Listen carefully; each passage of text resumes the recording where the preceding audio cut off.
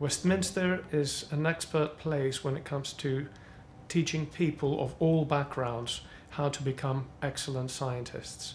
We focus on excellence and we focus on capability and we focus also on empowerment of individuals.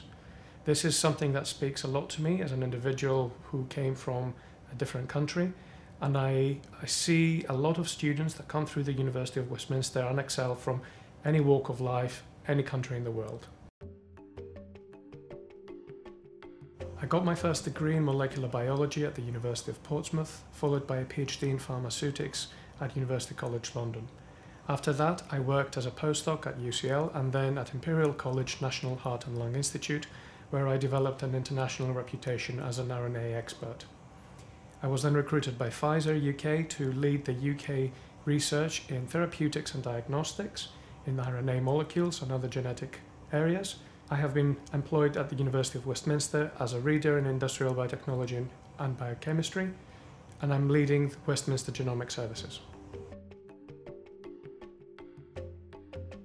I am involved a lot in the biomedical sciences courses and degrees, and I train a lot of new biomedical scientists to enter clinical research, but also research in biotechnology companies.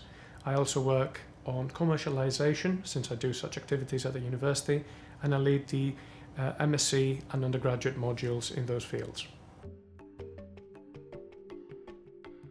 My current research focus is on applied genomics and genetics and transcriptomics.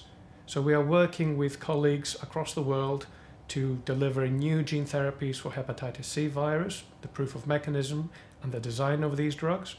We are working with colleagues in the area of brain microbiomics. We are working uh, with some colleagues in cancer uh, genotyping to understand how the different types of cancers progress.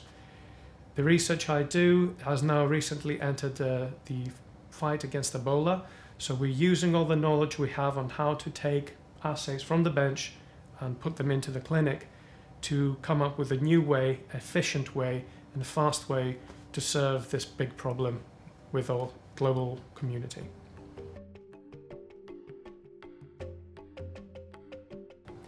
We started working on this quite a while ago. Um, the Ebola research at Westminster is not led by myself. It's led by a very good colleague of mine, Ed Wright. However, I have a lot of expertise in the applied transformation of bench assays into something we can use in the clinic.